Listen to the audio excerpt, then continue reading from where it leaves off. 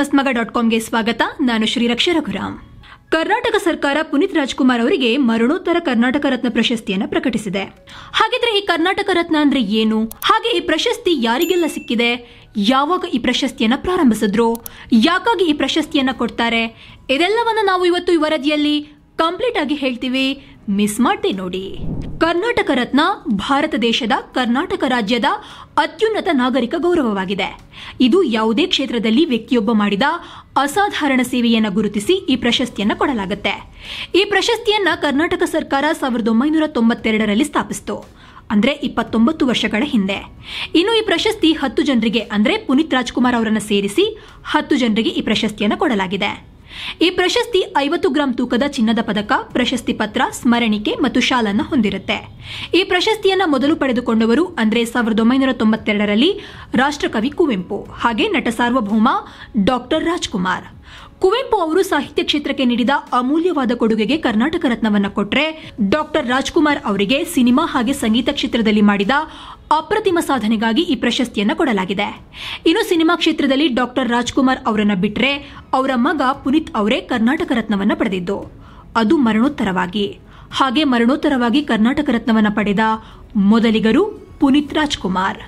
ಇನ್ನು ಕುವೆಂಪು ಹಾಗೆ ಡಾಕ್ಟರ್ ರಾಜ್ಕುಮಾರ್ ನಂತರ ಸಾವಿರದ ಒಂಬೈನೂರ ತೊಂಬತ್ತೊಂಬತ್ತರಲ್ಲಿ ಎಸ್. ನಿಜಲಿಂಗಪ್ಪ ಅವರಿಗೆ ರಾಜಕೀಯ ಕ್ಷೇತ್ರದಲ್ಲಿ ಮಾಡಿದ ಉತ್ತಮ ಕೆಲಸಕ್ಕಾಗಿ ಕೊಟ್ಟಿದ್ದಾರೆ. ಎರಡು ಸಾವಿರನೇ ಇಸವಿಯಲ್ಲಿ ಸಿಎನ್ಆರ್ ರಾವ್ ಅವರ ವಿಜ್ಞಾನ ಕ್ಷೇತ್ರದ ಸಾಧನೆಗಾಗಿ ಕೊಡಲಾಗಿದೆ. ಎರಡು ಸಾವಿರದ ಒಂದರಲ್ಲಿ ಡಾಕ್ಟರ್ ದೇವಿ ಶೆಟ್ಟಿ ಮೆಡಿಸಿನ್ ಕ್ಷೇತ್ರದಲ್ಲಿ ಮಾಡಿದ ಕೆಲಸಗಳಿಗಾಗಿ ಕರ್ನಾಟಕ ರತ್ನ ಪ್ರಶಸ್ತಿಯನ್ನು ಪಡೆದಿದ್ದಾರೆ. ಎರಡು ಸಾವಿರದ ಐದರಲ್ಲಿ ಭೀಮಸೇನ್ ಜೋಶಿ ಸಂಗೀತ ಕ್ಷೇತ್ರದ ಸಾಧನೆಗಾಗಿ ಕರ್ನಾಟಕ ರತ್ನ ಪ್ರಶಸ್ತಿಯನ್ನು ಪಡೆದಿದ್ದಾರೆ. ಎರಡು ಸಾವಿರದ ಏಳರಲ್ಲಿ ಶಿವಕುಮಾರ ಸ್ವಾಮಿಗಳು ತಮ್ಮ ಅತ್ಯುತ್ತಮವಾದ ಸಮಾಜಮುಖಿ ಕೆಲಸಗಳಿಗಾಗಿ ಕರ್ನಾಟಕ ರತ್ನ ಪ್ರಶಸ್ತಿಯನ್ನು ಪಡೆದಿದ್ದಾರೆ.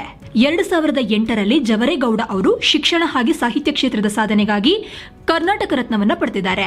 ಎರಡು ಸಾವಿರದ ಒಂಬತ್ತರಲ್ಲಿ ವೀರೇಂದ್ರ ಹೆಗ್ಗಡೆಯವರ ಸಮಾಜಮುಖಿ ಕೆಲಸಗಳಿಗಾಗಿ ಕರ್ನಾಟಕ ರತ್ನವನ್ನು ಕೊಡಲಾಗಿದೆ. ಎರಡು ಸಾವಿರದ ಒಂಬತ್ತರ ನಂತರ ಸುಮಾರು ಹತ್ತು ವರ್ಷಗಳ ಕಾಲ ಯಾರಿಗೂ ಕರ್ನಾಟಕ ರತ್ನವನ್ನ ಕೊಟ್ಟಿರಲಿಲ್ಲ. ಇದೀಗ ಪುನೀತ್ ರಾಜ್ಕುಮಾರ್ ಅವರಿಗೆ ಅವರ ಸಿನಿಮಾ ಕ್ಷೇತ್ರದ ಸಾಧನೆ ಹಾಗೂ ಸಮಾಜಮುಖಿ ಕಾರ್ಯಗಳ ಸಲುವಾಗಿ ಮರಣೋತ್ತರವಾಗಿ ಕರ್ನಾಟಕ ರತ್ನವನ್ನ ಕೊಡಲಾಗುತ್ತೆ ಅಂತ ಮುಖ್ಯಮಂತ್ರಿ ಬಸವರಾಜ ಬೊಮ್ಮಾಯಿ ಅವರು ಘೋಷಿಸಿದ್ದಾರೆ.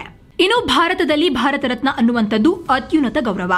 ಅದಾದ ನಂತರ ಪದ್ಮವಿಭೂಷಣ, ಪದ್ಮಭೂಷಣ ಹಾಗೆ ಪದ್ಮಶ್ರೀ. ನಾವು ಈ ಹಿಂದೆಯೇ ಪದ್ಮ ಪುರಸ್ಕಾರದ ಕುರಿತ ಡೀಟೇಲ್ ವರದಿಯನ್ನ ಮಾಡಿದ್ದೇವೆ. ನೀವು ಅದನ್ನ ನೋಡಿರಬಹುದು, ನೋಡಿಲ್ಲ ಅಂದ್ರೆ ಈ ವಿಡಿಯೋದ ಅಂತ್ಯದಲ್ಲಿ ಸ್ಕ್ರೀನ್ ಮೇಲೆ ತರ್ತೀವಿ. ಅದನ್ನ ಕ್ಲಿಕ್ ಮಾಡೋ ಮೂಲಕ ನೋಡಬಹುದು.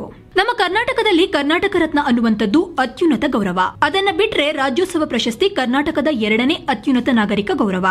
ಈ ಪ್ರಶಸ್ತಿಯನ್ನ ಕಲೆ, ಶಿಕ್ಷಣ, ಕೈಗಾರಿಕೆ, ಸಾಹಿತ್ಯ, ವಿಜ್ಞಾನ, ಕ್ರೀಡೆ, ವೈದ್ಯಕೀಯ, ಸಮಾಜ ಸೇವೆ, ಸಾರ್ವಜನಿಕ ವ್ಯವಹಾರಗಳು ಸೇರಿದಂತೆ ವಿವಿಧ ಕ್ಷೇತ್ರಗಳ ಚಟುವಟಿಕೆಯನ್ನ ವಿವಿಧ ಕ್ಷೇತ್ರಗಳಲ್ಲಿ ಅವರ ವಿಶಿಷ್ಟವಾದ ಕೊಡುಗೆಯನ್ನು ಗುರುತಿಸಿ ಕೊಡಲಾಗುತ್ತೆ. ಈ ಪ್ರಶಸ್ತಿಯನ್ನ ಸಾವಿರದ ಒಂಬೈನೂರ ಅರವತ್ತಾರರಲ್ಲಿ ಸ್ಥಾಪಿಸಲಾಯಿತು. ಇದನ್ನ ಕರ್ನಾಟಕದ ಪ್ರಜೆಗಳಲ್ಲದೆ ಇದ್ರೂ ಕರ್ನಾಟಕಕ್ಕೆ ವಿವಿಧ ರೀತಿಯಲ್ಲಿ ಕೊಡುಗೆ ನೀಡಿದ ಹೊರಗಿನವರಿಗೂ ಕೊಡಲಾಗುತ್ತೆ.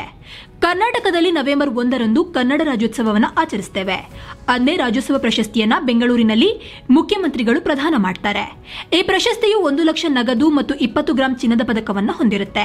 ಹಾಗೆ ಈ ಹಿಂದೆ ಕೆಲ ಕರ್ನಾಟಕ ರಾಜ್ಯೋತ್ಸವ ಪ್ರಶಸ್ತಿ ಪುರಸ್ಕೃತರಿಗೆ ಭೂಮಿಯನ್ನ ಕೂಡ ಕೊಡಲಾಗಿದೆ. ಇನ್ನು ಪುನೀತ್ ರಾಜ್ಕುಮಾರ್ ಅವರಿಗೆ ಎರಡು ಸಾವಿರದ ಇಪ್ಪತ್ತೊಂದರ ಬಸವಶ್ರೀ ಪ್ರಶಸ್ತಿಯನ್ನ ಸಹ ಮರಣೋತ್ತರವಾಗಿ ಕೊಡಲಾಗಿದೆ. ಈ ಪ್ರಶಸ್ತಿಯನ್ನ ಚಿತ್ರದುರ್ಗದ ಬೃಹನ್ ಮಠದಿಂದ ನೀಡಲಾಗುತ್ತೆ. ಈ ಪ್ರಶಸ್ತಿಯನ್ನ ಭಗವಾನ್ ಬಸವೇಶ್ವರರ ತತ್ವಾದರ್ಶಗಳನ್ನು ಅನುಸರಿಸುವ ಮೂಲಕ ಆಯಾ ಕ್ಷೇತ್ರಗಳಲ್ಲಿ ಸಮಾಜಕ್ಕೆ ಸೇವೆ ಸಲ್ಲಿಸುವ ಜನರನ್ನ ಈ ಪ್ರಶಸ್ತಿ ಕೊಡೋದ್ರ ಮೂಲಕ ಗೌರವಿಸಲಾಗುತ್ತೆ. ಈ ಪ್ರಶಸ್ತಿಯನ್ನ ಸಾವಿರದ ಒಂಬೈನೂರ ತೊಂಬತ್ತೇಳರಿಂದ ಚಿತ್ರದುರ್ಗದ ಬೃಹನ್ ಮಠ ಕೊಡ್ತಾ ಇದ್ದಾರೆ. ಈ ಪ್ರಶಸ್ತಿ ಐದು ಲಕ್ಷ ನಗದು ಹಾಗೆ ಸ್ಮರಣಿಕೆಗಳನ್ನು ಒಳಗೊಂಡಿದೆ.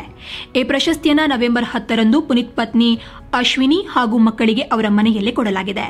ಈ ಹಿಂದೆ ಎರಡು ಸಾವಿರದ ಒಂಬತ್ತರಲ್ಲಿ ಪಿಟಿ ಉಷಾ, ಎರಡು ಸಾವಿರದ ಹದಿನಾಲ್ಕರಲ್ಲಿ ಮಲಾಲಾ ಯೂಸುಫ್ ಜಾಯ್, ಎರಡು ಸಾವಿರದ ಹದಿನಾರರಲ್ಲಿ ಪಿ ಸಾಯಿನಾಥ್, ಎರಡು ಸಾವಿರದ ಇಪ್ಪತ್ತರಲ್ಲಿ ಡಾಕ್ಟರ್ ಕೆ ಕಸ್ತೂರಿ ರಂಗನ್ ಅವರಿಗೆ ಈ ಪ್ರಶಸ್ತಿಯನ್ನು ಕೊಡಲಾಗಿದೆ.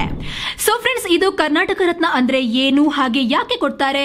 ಯಾರೆಲ್ಲ ಇಲ್ಲಿಯವರೆಗೆ ಕರ್ನಾಟಕ ರತ್ನ ಪ್ರಶಸ್ತಿಯನ್ನು ಪಡೆದುಕೊಂಡಿದ್ದಾರೆ ಅನ್ನೋದನ್ನ ತಿಳಿಸುವ ಪ್ರಯತ್ನವಾಗಿತ್ತು. ನಮ್ಮ ಈ ಪ್ರಯತ್ನ ನಿಮಗೆ ಇಷ್ಟವಾಗಿದ್ರೆ ನಮ್ಮ ಚಾನೆಲ್ಗೆ ಸಬ್ಸ್ಕ್ರೈಬ್ ಆಗಿ, ಹಾಗೆ ಪಕ್ಕದಲ್ಲಿರುವ ಗಂಟೆ ಗುರುತಿನ ಮೇಲೆ ಕ್ಲಿಕ್ ಮಾಡೋದನ್ನ ಯಾವುದೇ ಕಾರಣಕ್ಕೂ ಮರಿಬೇಡಿ. ಧನ್ಯವಾದ.